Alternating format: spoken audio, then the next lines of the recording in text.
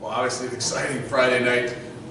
Um, It started off with just the atmosphere. I think that first and foremost, I know it was obviously a great game, and everything is better that ends the way you want it to end. Um, But all in all, I mean, from the student section to the 40-some thousand that we had in the stands, to the game itself, I told our guys afterwards, it's not just the victory. Obviously, the victory is first and foremost and most important, but the energy, the atmosphere in there that the, that the students created, that the fans created, and really that our team created.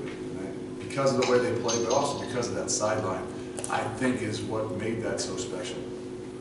The win obviously cap, capitalizes or caps off everything, but I want our guys to remember that it's not just about that. It's also about that energy, that atmosphere, the things that they really, really love and enjoy. Those are the things that they'll remember forever. Yes, the victory and things like that. That's when the things really are starting to roll and, and you feel the momentum and the energy, not just in the locker room, but in the community and on the football field and in the student body. So it's really, really special to have two guys, because of the weekend, because of the Friday night, be uh, players of the week in the, in the conference with Jarell White, uh, defensive player of the week, and then James Smith was special teams player of the week. It's just a recognition. Uh, Those guys did an un- unbelievable job, but the job that the entire team did, give ourselves a situation, James, to, to punt the ball inside the ten-yard line four times, to change really the complexion of the game and make them have to drive long distances because they, they are very explosive offensively. And then for Jarell to come up with some of the plays he did, obviously the big pick down in the red zone. There could have been a few guys, they could have obviously been players of the week, you know, with Ahmad Gardner with the pick six and and Cam Jefferies with a, with a pick, run back 57 yards, all in the red zone. That were huge, huge plays, but I think what that shows you is uh, those might be right there. Two of them were guys that maybe didn't start. You know, Ahmad Gardner and and Jarell, in some ways would say, well, he's not a starter. Yeah, he is. You know, we, we've got maybe 17 starters in a lot of ways. And, and I think that's the way we look at it. And when you have those kinds of things, there's a lot of positives that going on that, that sometimes get overshadowed by just an incredible victory, uh, an incredible team win. But there's a lot of things, the selfless play of a lot of guys that uh, I think is what really makes me feel good about what's going on in this program and this team. Production-wise, would you say maybe Elijah Ponder might be going under the radar a little bit, but has been as important as anybody on the defense? There's no doubt. I mean, uh, I know going into the season, everybody was looking at, hey, there's no way you're going to be able to replace Cortez and Cope. And we didn't want to say we were somebody was going to and replace those guys, but the ability for those guys to roll was, was a big deal. And Elijah's emergence, and I said it after the game, Elijah earned a lot of respect, and I don't just mean by the coaches. You know, and I don't just mean by the fans and the people out there that just read the stat line. I mean by the guys in this program, this team. The guy was elected the Iron Bearcat, which is one of the big awards in our program over the summer. The guy that really, you know, basically exemplifies our culture every single day, coming in, working, and, and all the things they do throughout the summer, which is a grind and tough. And he won that because of his ability to affect others. And then he comes out this year, and obviously camp had an incredible camp, and you know continued to earn more and more and more playing time, and his performance has shown. And it's not just those performances on Friday night or Saturday that have made him a big part of this team. It's probably his maturity and his ability to go through some adverse situations in our first two years here of not playing a ton, and then all of a sudden working and working and emerging uh, in the way that I would say you'd really like to see guys emerge is through a lot of hard work and some adversity because it means a lot more. With your young guys like Gardner and others playing so well Friday night, how much does that increase your confidence in them already and then maybe give you some more options going forward for how you can use this guy? We know it does. We, we knew we had to in a, in a unique situation like that with the hurry up and amount of plays that they were going to play. They had played a lot of ball, maybe not on Saturdays they played a lot of ball, but throughout camp they played a lot of ball against a lot of good wideouts. You know, we challenged them a bunch, and, and those weren't guys that, you know, in the first three weeks of camp were kind of in the back burner and third team guys that didn't get a lot of reps, and all of a sudden somebody gets hurt and they're emerged, they're thrown into there. They've been kind of in the fire since we started camp, just the numbers we had at the back end in the corner position in particular, uh, and then their ability to play. So that's where you, you, you've gained a lot of confidence in them. Obviously, anytime a true freshman's out there, you got a little bit of, you know, anxiety as a coach, uh, just exactly when those big lights come on, what it's going to be like. And, and especially against a team like that with as much speed as they have, and the shots they're gonna take. But I think their ability to do what they did in camp really, really helped us and, and really helped their confidence in a lot of things. I know you guys made some adjustments, but is it rewarding to play a team like that and show your players that you can still win with defense and running game, which has kind of been temples for I think you show that you can win with all three phases. You know, I think, yes, I think the defense, you know, in some ways you could say, hey, you played 58 snaps, you couldn't get them off the field in the first half enough. Yeah, you played really well in the red zone. You know, maybe offensively, we only had 20-some snaps and, you know, four, three or four three and outs in the first half and didn't play as well. But I think the ability to make some adjustments and adapt, and sometimes even your special teams got to hold of it. The field goals were big for us. You know, we hadn't kicked a whole bunch of field goals this year. And you wouldn't say it, you know, sometimes the field goals, oh man, we kicked a field goal, we, you know, we gave up four points there. But for us in, in that game, in that situation, uh, to generate some energy through the field goal, uh, kicking, and not just it being three points, the way it goes through too, it means something. You know, it gave us more confidence to continue to kick it. If we had to kick another one at the end of the game to win the game in a longer range, I'd have felt really good about it. So I think we all are gaining confidence, but I think you gain the most confidence in knowing that you got a lot of people behind you. If you're defense and you're struggling, you, you got confidence that your offense can put you in a situation. If you're an offense struggling, you got confidence in your defense. If, you know, if you, ah, you, you don't score in the red zone, we've gained a lot more confidence right now and say, okay, it's, it's not the end of the world. We, we'll take the three points, but we believe in, in what we're doing special teams wise as well. With Warren's run to the third quarter, it was kind of like a culmination. You guys started to get a little bit of a rhythm running the ball. What adjustments did you make that allowed you guys to do that better in the second half? Well, I'd start with saying that I said, don't snap the ball. Let's just run the quarter out here, and, and no, no, we're good, we're, we're ready. I'm like, are you sure? Let's don't snap, don't, don't snap. And then they snapped the darn ball, and sixty-some yards later, there goes Mike Warren, so he created a lot of energy, so I'm glad they didn't listen to me right there on, on- at that moment. And Maybe I was a little late at getting that in. But I think that, I'm, not saying that we made, we went in the halftime and said, okay, here's the adjustments we're gonna make. We're gonna block it like this, we're gonna take, go to this level, no, I think it's the combination of, you continuing to play hard, I think wearing people down.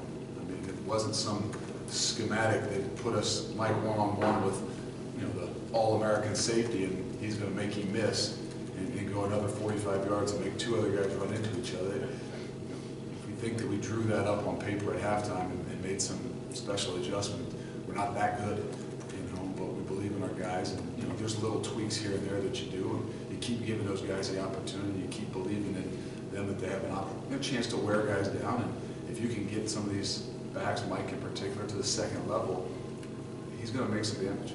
And on that run, when you guys were watching the film, you came in on Sunday, did you point out Desmond getting down the field and kind of paving the way for him to gain those extra yards? Yeah, Oh, no, we, we, we watch more of those things than even, you know, the, the entire run of what it is. We look for O-line guys that are chasing the pile down, we look for O-line guys that are, you know, maybe driving a guy over a pile and finishing and those kinds of things. Uh, everybody's probably seen in the top ten of ESPN or whatever Mike's run, but they might not have pointed out the, the ability for Dez that's down there trying to get a block and, you know, some of the things that happen right there at the line of scrimmage to give him an opportunity to get in the second, uh, get to the second level. Last week, you talked a lot about making this, this past game an event and building momentum on campus. It's how gratifying is it not to just get the win you touched on a little bit earlier, but just to see this city rally around this team and- and see a night like that. And probably, I haven't seen that at Denver. I have never. Um, You know, first week of the year uh, in UCLA was a really great atmosphere, a great night uh, on a Thursday night, which makes it, you know, even a little bit more special because I think that you can, you know, captivate some more people with not as much going on around. You know, originally going into it on a Friday night, I was not excited when the, when the game was announced because high school football is so important so big here in, in our community is, and as well to our football program.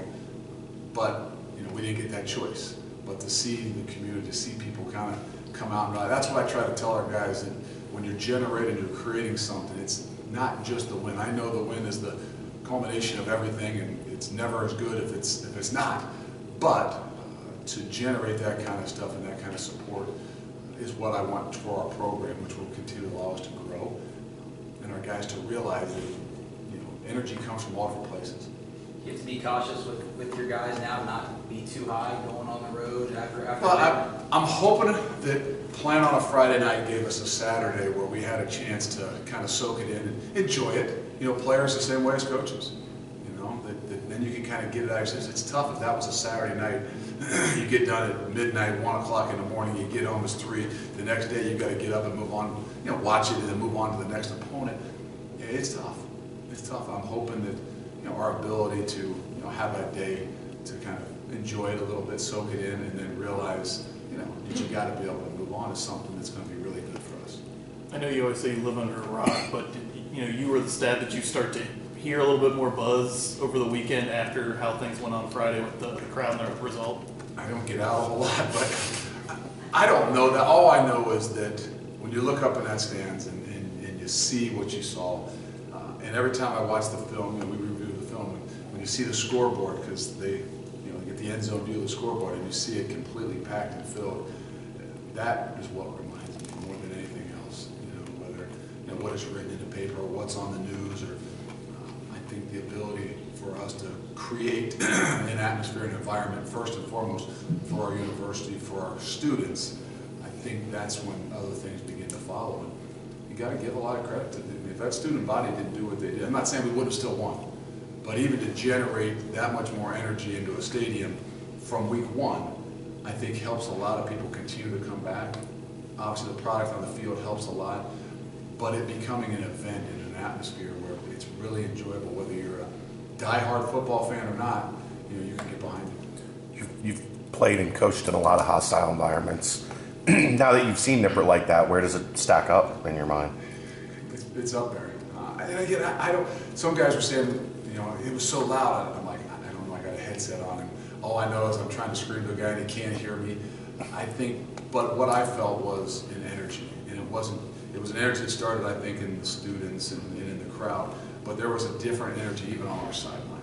And I think, I don't know why, obviously because it's a big game, because we're playing well, but there was even something a little bit different. Um, You know, I told the guys that, you know, I don't say that's the greatest game, but I said the greatest thing that I remember and what made it so special and one of the best for me is not just the victory. It's not just that there's forty-some thousand people there, but the energy that I felt, A, on the sideline and B, in that locker room is what's different. You feel, how'd you feel Harper and uh, McConnell did on that left side of the line? They did a good job. I mean, right after the game, you know, it was one of my first questions. I'm like, oh my gosh, how did, how did Vinny and Harp do it? My first thought was, I, I didn't notice anything. And in that way, that's got to be a very positive thing. As you go back and look at it, I think they did a really good job. I mean, that's a tough defense. Not that, you know, they're blitzing as much, they probably blitzed more the uh, Friday night than they do normally, they got athletes all over the place. And, you know, for us to be able to be successful, we'd like to say we had to run the football, but we had to make some plays down the field. And when you show the plays that are made down the field with some of those throws by Dez, the biggest picture is that the pocket is clean. And he had the ability to to throw the one on Rashad, which is a long developing route on an over route early, uh, which was a huge throw, a huge play. And the pocket is really clean. And uh, I think those guys did a really good job.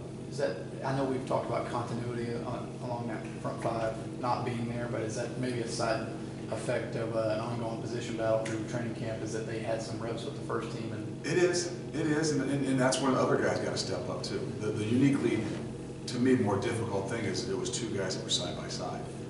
You know, so now they're both kind of relying upon each other, where, you know, had you know, Hart been next to, you know, Morgan James, you might said, okay, you know, if in doubt, he, Morgan can kind of help him out, and, and vice versa with, you know, Vinny, if he had been next to him.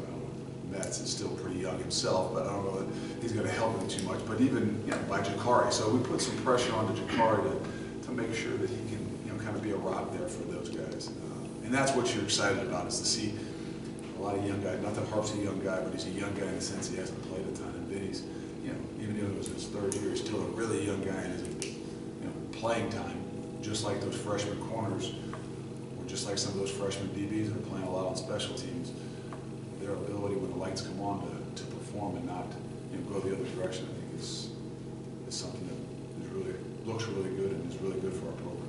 Regarding pressure, how, is there any added to the fact that you guys are coming off a big win to go on the road and follow it up with another one? No, I, I don't, I don't really, think there's that much difference, to be honest. I think getting over the, obviously the thrill of victory and the euphoria and those kinds of things is, is the first. Um, But I don't, to, to do a repeat performance, it's not like we were sitting here, you know, preseason all this and, and, you know, now you gotta worry about some kind of, no, I just, I just think that, you know, we get our, keep ourselves in line for what's really important. And that's why, you know, yes, it's a great game, it's an exciting game, but, you know, put it with what it is. It- It's another one game. And yes, they're the best, and they've been the best in the league, it's another one game. And for our ability to put that behind us and continue to move on, pressure is what you make of it.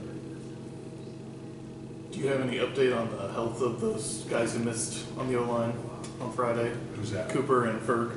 Uh, Coop will, will not make it back. I don't know that he'll make it back this year. Uh, And then Ferg, hopefully, we'll, we'll see. Today's Tuesday. You know, we'll go out there today and, you know, he battled to get back last week and, you know, early in the week, we thought he would make it. Um, about Wednesday, I didn't really think that he would make it, but, you know, he was still battling to try. and you know, Taped it up there before to see if he could go, but there wasn't a way, you know, he, he could help the team. So hopefully, we'll see, we'll see him out there today and see what he can do and see how he feels by Wednesday and Thursday. Luke, last year you guys go eleven and two, get a big bowl win, now you're four and one, you beat the best of best in the conference over the last couple of years. Is this what you envisioned come to life in this program when you got here, now you're seeing it kind of come to life? I think the first thing that you envision is the ability to do things together. And yes, the wins are what everybody outside gets noticed, but even after the first two wins, you know, two and one, it didn't feel the same way. And you can't say that UCLA wasn't a huge win. You can't say that beating your rivals for the 15th time in a row is not a huge win. Um, So I always try, try to tell the beginning of the year, we don't let the outside de- determine what success is to us. You know, we weren't successful last year just because we were 11 and 2. We were successful because of the way we did it. You know, to, to end it the way we did with, you know, a senior quarterback that hadn't played all year, that stayed, stuck with it. And that's a sign that, you know, it's a really good football team, whether they were 11 and 2 or 8 and 3 or 7 and 4. I mean, it- A really good football team that did things the right way. And I think, you know, where we're headed is, is that direction. You know, yes, we're four and one, and that gets noticed, but where we were after week three, you know, even though you're two and one, is a bit different than I think where we are with just the energy and the things that are going on. Did you get a verdict on Sauce's nickname?